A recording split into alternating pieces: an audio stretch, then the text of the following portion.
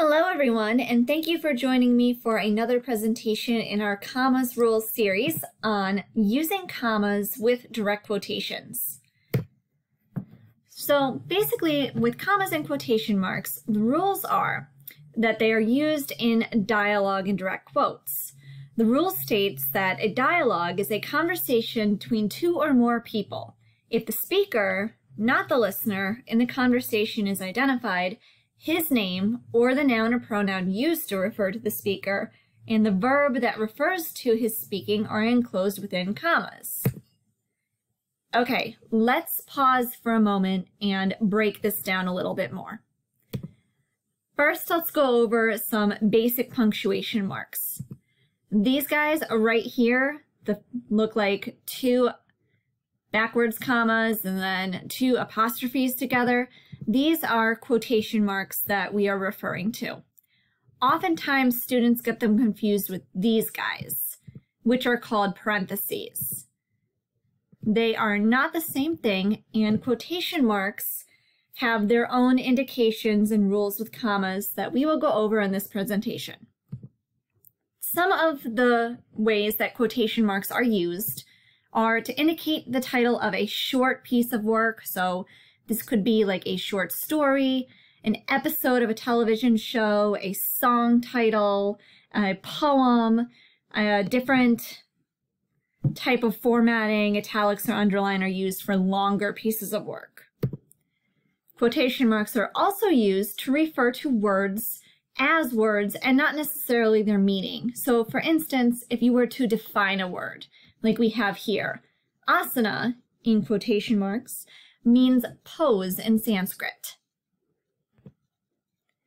Scare quotes, direct quotes, and quotation marks are finally used in dialogue.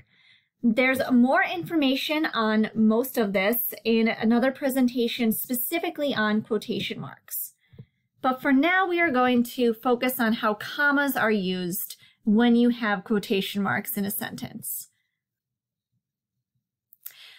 So one of the questions that students get hung up on a lot of times, or even writers in general, does punctuation come inside or outside of quotation marks? Well, the general rule with commas specifically is that commas usually come before the quotation marks. So if you're thinking, well, you didn't answer my question, that's because it's not as direct as that. Here you have an example of a quotation. Quotation mark, you should try the writing center. Comma, quotation mark, suggested Amelia.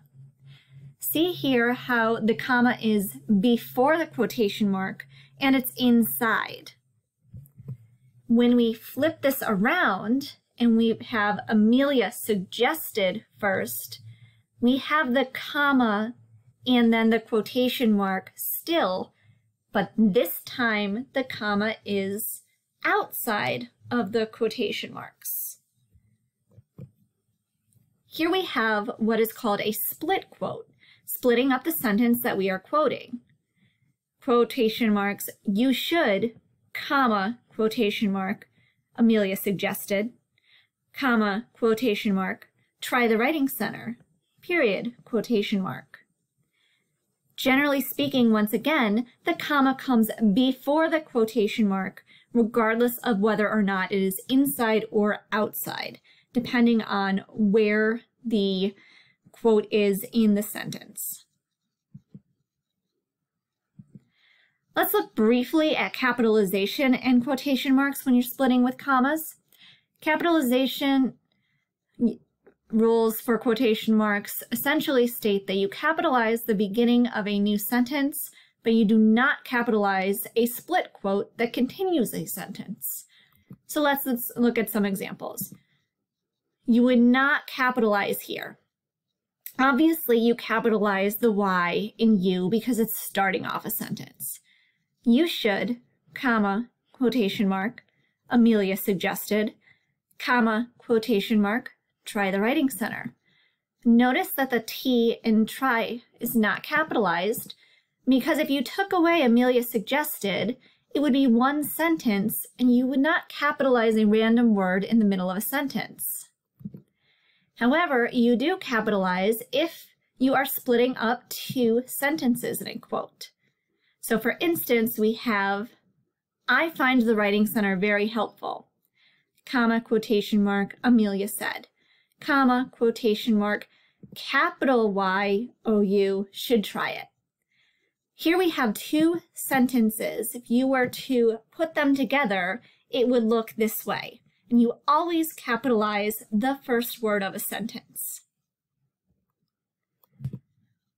Let's look briefly at end punctuation. Periods and commas ending a sentence go inside the quotation mark with the exception of when you have an in-text citation.